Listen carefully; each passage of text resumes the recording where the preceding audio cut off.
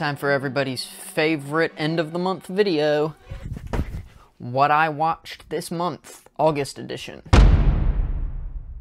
Started off the month strong with Captain America the Winter Soldier. No matter what way you look at it, it came out the same year as another very, very popular action movie, John Wick. I think this is some of the best modern action period. I think it still holds up to today's action. I really, really love this movie, and I would give it a 9.5 out of 10. It's, it's that good. I think, in my opinion, it's the best Marvel movie that exists. Let's move on. Then I watched Cool Runnings in honor of the Olympics, and I forgot how good this movie was. I've heard some people call this really, really predictable, almost like too predictable of a sports movie, but it's fun, it's inspiring, and it's a great story. I really liked it, and I would personally give it an 8 out of 10. Next up, I watched Sicario. This has been on my watch list for a little over a year now, and I'm not gonna lie, this was a beautifully shot film, this was a really, really well acted film, but I feel like this film was trying to make comments on a particular type of violence. Uh, if you have seen Sicario, you know what I'm talking about, specifically gang violence. But I just, this movie feels scared to actually say anything, in my opinion. Like, obviously, there is an overarching narrative throughout the story, but I just felt th this movie was lacking a lot in terms of for one, character growth throughout the movie. And that's one of the reasons why I would personally be inclined to give it a 5 out of 10. Next up, I watched 13 Hours, The Secret Soldiers of Benghazi. And I'm not gonna lie, this was better than I thought it was gonna be, but I do still think the book was better than the movie. This is based off a book. This has also been on my watch list for a little over a year.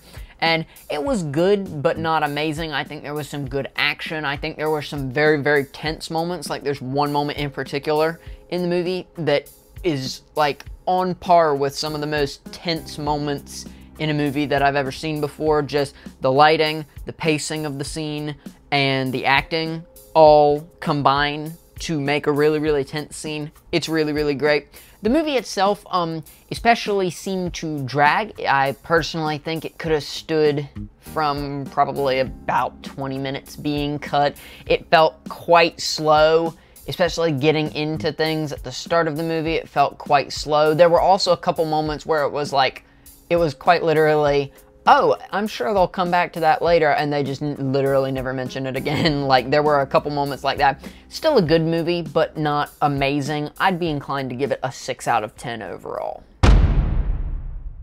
Next up, I watched Trap. And this is actually, I don't think I ever made a short on Trap, which is a shame.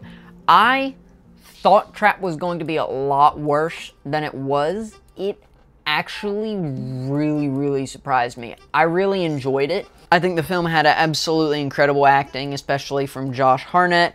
I think that there's a tipping point in this film that made it really, really interesting. Every, like everything after the tipping point, definitely leave in for certain, but I think probably five minutes could have been cut from the start of the movie because it was yet again, like I mentioned in the 13 hours segment, it felt like it was like, oh, they're gonna come back to that, right? And then it was like, oh, well, well, no, no, they're they're not gonna come back to that at all. What you thought they were gonna come back to it? So that was funny.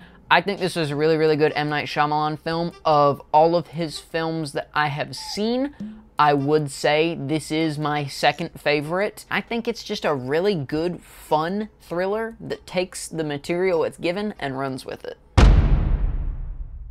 Next, I watched Avengers Infinity War. There are plot holes, yes. There are things wrong with it, yes. There are a lot of characters to keep up with, yes. But dadgummit, this is just great fiction, and you're gonna hear a little bit more about this in an upcoming review in probably two or three films, but I would give this an 8 out of 10. Let's move on.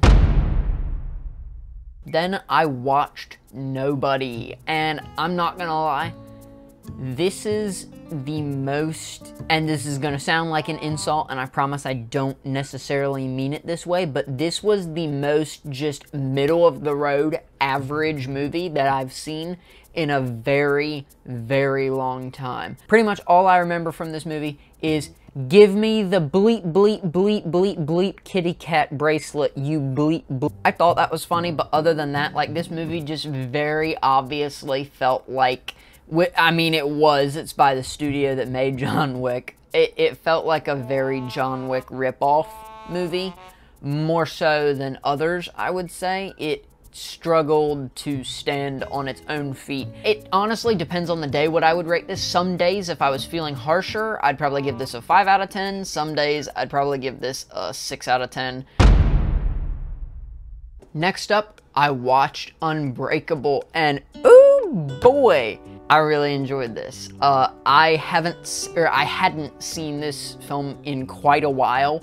I think in probably four years. It holds up. It is really, really good. It's a lot of people say that it's slow and that it's slow burning, and I agree, it is a slow movie, but it is not a boring movie. I think a movie can be slow and be very, very effective, slowly build up to what it's building to without being boring. This movie wasn't boring at all. I did forget how abrupt the ending was. I thought, like, while I was watching it, I was like, oh, this is a five star film. Oh, this is a five star film. Like, I'm gonna rate this thing five stars. It's gonna be sick. Uh, but I forgot how abrupt the ending is. It's, uh, it's relatively rough how abrupt the ending of this film is.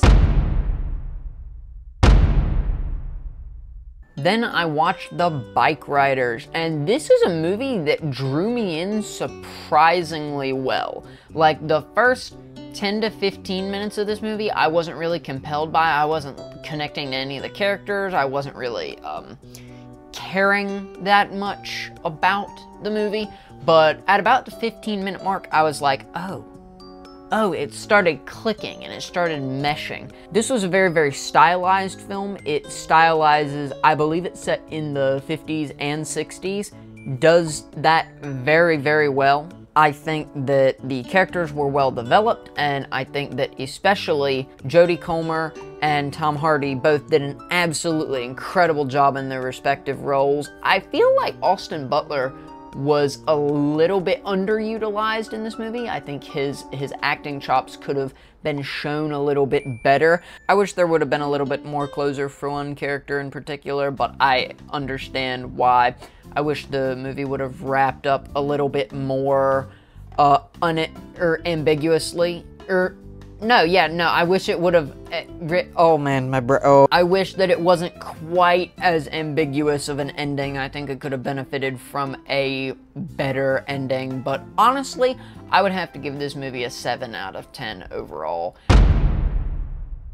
Next up, I watched Trap again.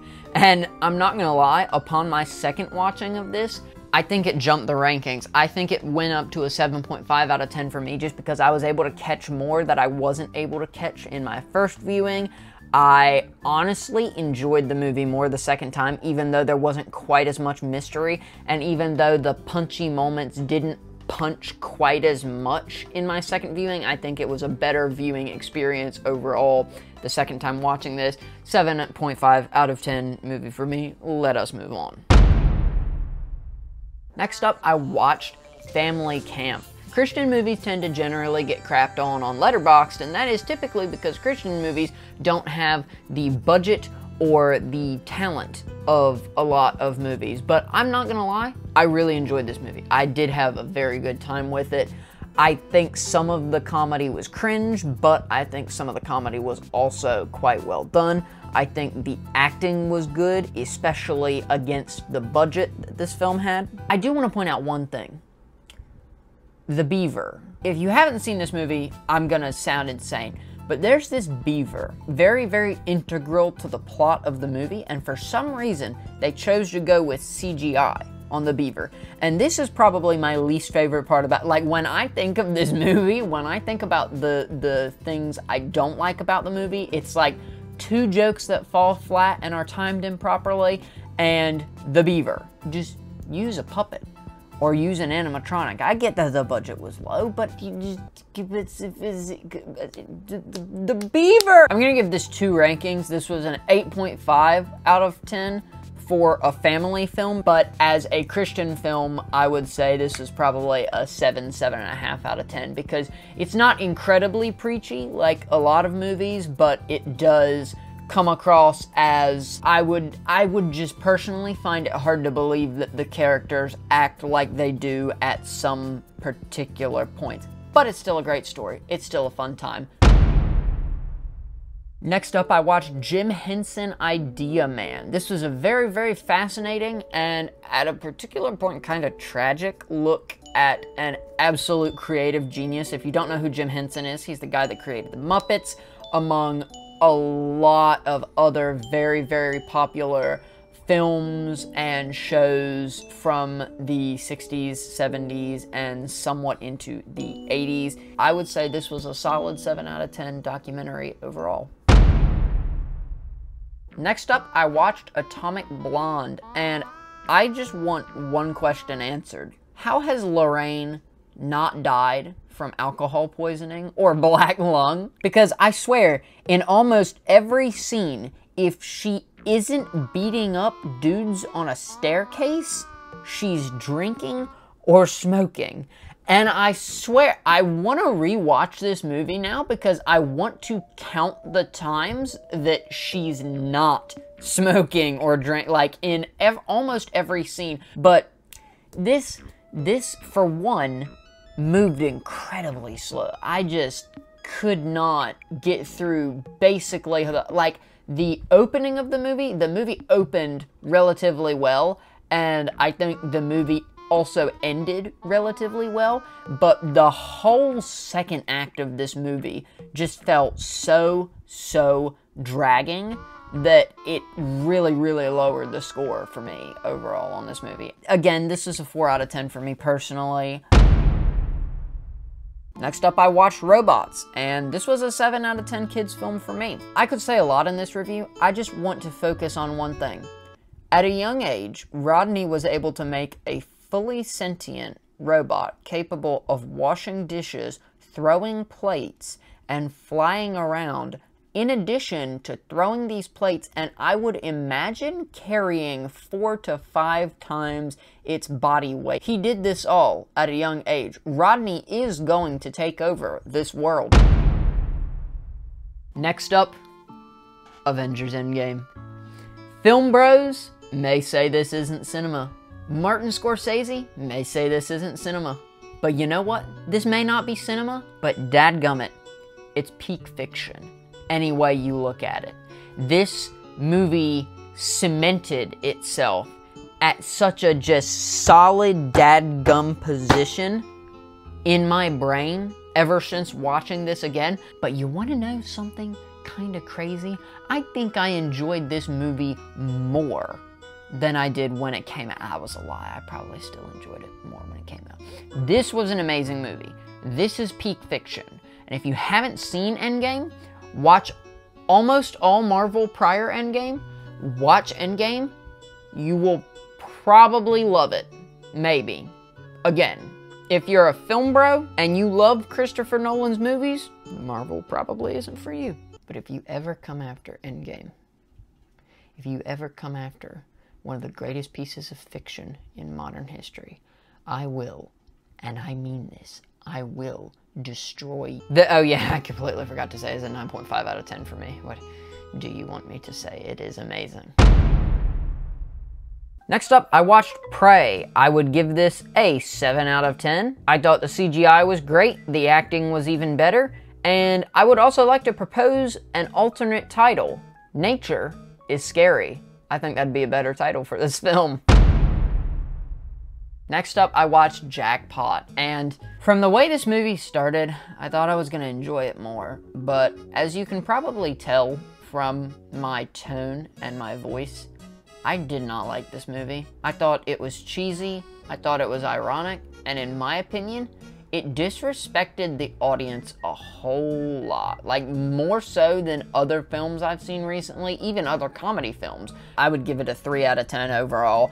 It's probably in my top three least enjoyed movies that I've seen of this year so far.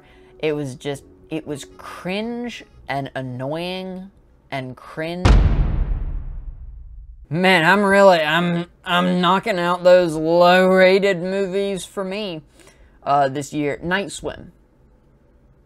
The Pool is the Monster. This movie takes itself way too seriously.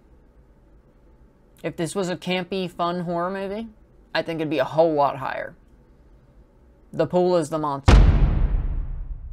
Next up, I watched Power Rangers, and a lot of people like to crap on this movie. I've seen a lot of people, I mean, a lot of people give this thing half a star. But you know what? This movie may not have been perfect, but it was charming. It had some good fan service moments, it had some crap fan service moments. I thought it was fun. Definitely a fall off for Bryan Cranston, but hey, we all hit rock bottom at some point. I'd give it a 6 out of 10 overall. Uh, oh, and um, Krispy Kreme definitely sponsored the final battle. Now you probably want to go watch Power Rangers. I think it's on Amazon Prime right now. Next up, I watched Alien, and I am not gonna lie, this was a letdown, man. I was looking forward to this. I still liked it. I still think it was good. And I don't necessarily think it was horribly, horribly dated, but oh my gosh, it takes them so long to get to stuff actually happening. Uh, the first act, in my opinion, very, very boring. The whole second act, basically, the first half of this movie is incredibly boring, and the second half of this movie is relatively exciting with some really cool, extremely iconic moments. I would not call this movie great, but I also would not call this movie crap. I would personally give it a 6 out of 10 nowadays, but for for its time, as far as movies that came out in 1979, I would give it a 9 out of 10, honestly. Then I watched The Killer, which is John Woo's remake of his, I believe, either 70 or 80s action film of the same name. And up until the final battle in this movie, I would have given this movie an 8 out of 10 just because I really enjoyed it. I would legitimately give it an 8 out of 10 up until that final battle because the movie does something that's very rare nowadays. It keeps one tone. It keeps the sincere, like not making fun of the audience tone, it keeps that all the way up to the final battle. But then in the final battle, the final battle is almost cartoonish, in my opinion. Like all of the fighting style up to that point in the movie is, you know, very serious, very gritty, very grounded. Um, all of the actors and actresses can fight in this movie as well. That is epic to see. Like, there weren't annoying cuts away. Well, okay, everybody except for one character in the final battle, which was annoying. but this was a solid movie with some solid twists. I enjoyed it. And I would have given it an 8 out of 10 if it wasn't for that final battle. The final battle, unfortunately, drops the film a whole point for me to a 7 out of 10. But let's move on to the next film. Next up, I watched In Space with Markiplier, and this is not a film, it's an experience. And I only say that because it's on YouTube. I think that this could have worked as a film, potentially.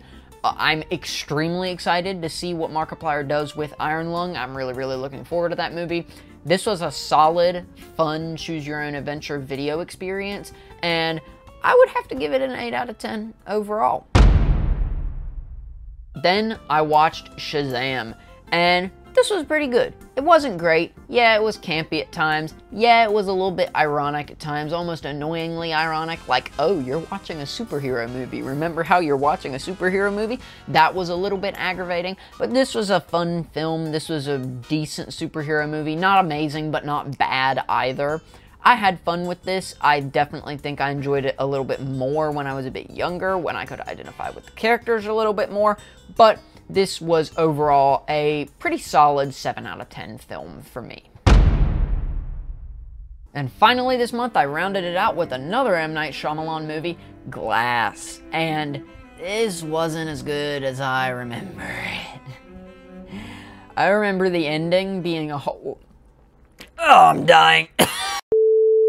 I remember the ending being a whole lot more conclusive and satisfying of this movie. It's very unsatisfying. Like, as far as M. Night Shyamalan goes, because M. Night Shyamalan has had some very low lows, I would put this at, of what I have seen, the middle of his filmography. It was a good movie. I'm not going to spoil the ending. There's a very, very big twist ending of this. I would argue this is one of the bigger M. Night Shyamalan twist endings that I've seen out of any of his movies. I enjoyed it a decent bit, but definitely a lot uh, less than I did upon my first watching. I would have to give this a solid 6.5 out of 10 because I don't think it's worthy of the 6. Like, I don't think in looking at the other movies I gave 6 out of 10 this month, I don't think it deserves to be that low, but at the same time, I can't in good conscience give it a 7 out of 10, so I put it at 6.5 out of 10.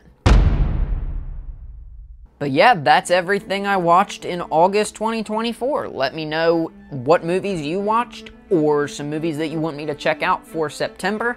I am going to be doing a couple of different challenges in September. Like, I have one video planned where I exclusively let the Snapchat AI friend tell me what to watch. I'm not looking forward to that, but it's gonna be funny. Thank you all so, so much for watching, and if you wanna see what I watched last month, you can click on that video right over here. I'll see you there.